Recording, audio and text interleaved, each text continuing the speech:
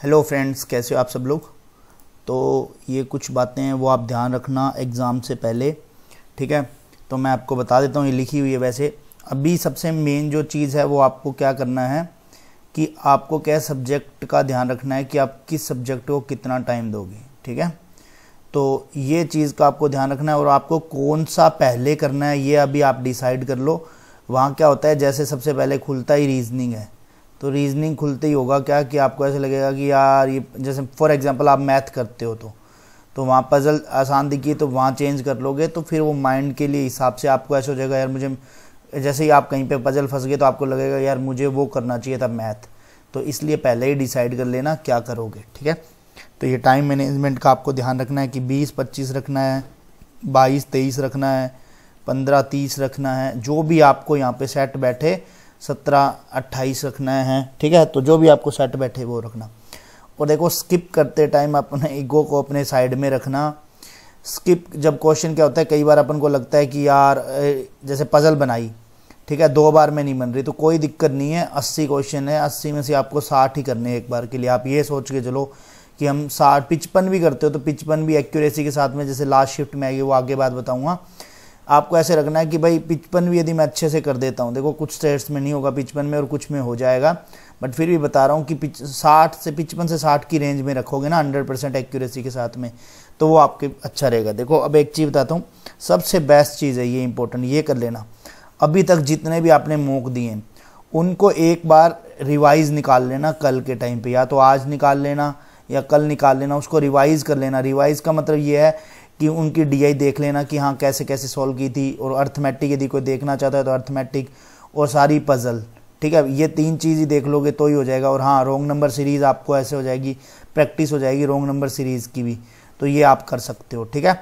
और उसके साथ में देखो, ये बेसिक तो ये सारी बेसिक चीज़ें थी, और दूसरा फॉर्मूला इन सब फॉर्मूला को एक पेज पे लिख लो, ताकि आपको क्या है लास्ट टाइम पे रिवाइज करने में काम आए कि आपको हाँ कुछ ऐसी चीज़ होती है जो आपकी बेसिक होती है कि भाई मेरे को ये चीज़ ऐसे मल्टीप्लाई करनी चाहिए थी, ये ऐसे तो वो वहाँ लिख लो जिससे आपको पता लग जाएगा, ठीक है?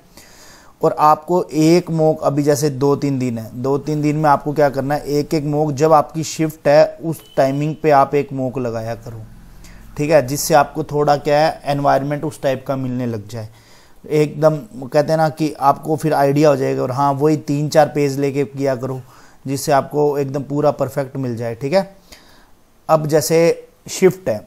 अब क्या होगा, जैसे जैसे जैसे पेपर आ जाए फ़र्स्ट शिफ्ट है। फॉर एग्ज़ाम फ़र्स्ट शिफ्ट में किसी ने 65 कर दी तो आपको वो नहीं सोचना है, क्योंकि जैसे जैसे शिफ्ट बढ़ेगी तो पेपर का लेवल थोड़ा सा मॉडरेट होता रहता है। ठीक है? और वो पेपर का लेवल क्या है? सेट हो जाता है किसके अंदर? नॉर्मलाइजेशन के अंदर। ठीक है? तो आपको ऐसे नहीं सोचना है कि किसी ने 65 कर दिए हैं। अब जैसे फॉर एग्जांपल आपकी स्ट्रेंथ ही पिचपन की थी।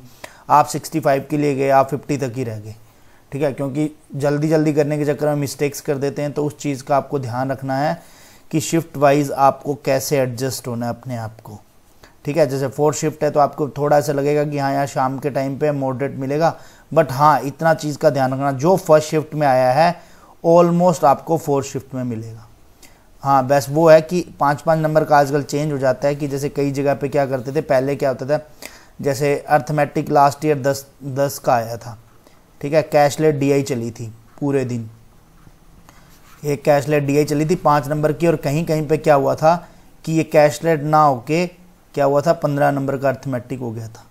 ठीक है, बस इतना सा चेंज था, बाकी रोंग नंबर सीरीज़ चल रही थी।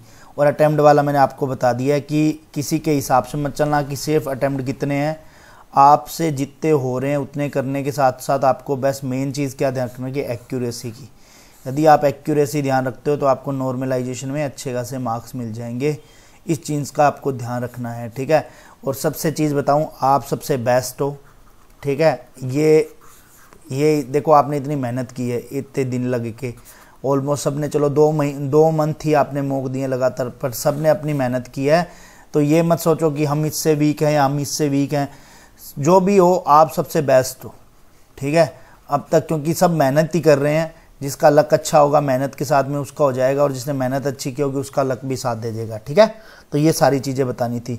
और एक चीज़ और बता रहा हूँ जाते जाते कि अभी जैसे आपको पता था प्राइम बंडल पीडीएफ कोर्स मिल रहा था, वो फाइव एट्टी सिक्स रुपीज़ में मिल रहा था, ठीक है? अब तक का लोवेस्ट प्राइस है, इससे पहले इतने में नहीं मिल रहा था तो अब तक का लोवेस्ट प्राइस है, ठीक है? जो ओल्ड पर्सन है, जो पहले ले रखा है जिन्होंने, उनके लिए तो फोर एट्टी एट रुपीज़ का था। तो अब इन्होंने एक थोड़ा सा एक चेंज किया ब्लॉकबास्टर स्पेशल ऑफ़र निकाला है आज आज के लिए। जो एन आई की तैयारी कर रहे हैं, ठीक है? एन आई सी एल जो भी ए का फॉर्म भरना चाहते हैं, उसका जो भी था, कि मतलब जितना ही प्लान है प्री एंड मेंस का, हिंदी और इंग्लिश लैंग्वेज में मिलेगा, और वीडियो सॉल्यूशन वन ईयर की वैलिडिटी के साथ में जो इतने का प्लान मिला था, वो इसके अंदर इंक्लूड कर दिया है, ठीक है? तो जिसको भी लेना हो तो आप ले लेना, ठीक है? वैसे ट्रिपल सिक्स का है आप कोड लगाओगे जी एम ट्वेल्व तो आपको ट्वेल्व परसेंट एक्स्ट्रा ऑफ़ मिल जाएगा इसके ऊपर, और वो फाइव एट्टी सिक्स का मिलेगा। यदि आपको भी नहीं लेना तो कोई चक्कर नहीं है। आपका क्या है, जैसे आपको कुछ क्या होता है एक्सपीरियंस हो जाते हैं, दो साल हो गया, तीन साल हो गए तो उनको नहीं चाहिए। तो जो बिगनर है एकदम, ठीक है, उनके लिए आप क्या करो कि भाई जो भी आपके आसपास में उनको बता दो कि भाई ये पीडीएफ कोर्स देखो। उनके, उनको क्या है कि डेली टारगेट मिल जाएगा करने के लिए। इसके अंदर कि भाई इतना टारगेट है जिसके अंदर आपको पंद्रह अर्थमेटिक के क्वेश्चन हो गए, सारा कुछ टारगेट होता है एकदम टारगेट बेस्ड कि एक दो पजल दे दी है मेंस की या कुछ भी प्री मेंस सब कुछ। सब कुछ मिलता है इसके अंदर बंडल पीडीएफ के अंदर। टॉपिक वाइज वो मिल जाएगा exam wise sectional wise computer का जैसे कंप्यूटर अवेयरनेस का पूरा अलग है जीके का अलग पोर्शन है। करंट अफेयर की पीडीएफ मिल जाएगी मेंस की पीडीएफ मिल जाएगी। सबका वीडियो सोल्यूशन है, ठीक है? तो मैं नीचे डिस्क्रिप्शन में भी लिंक दे रहा हूँ और बाकी आप जब लो तो जी एम ट्वेल्व कोड लगा लेना।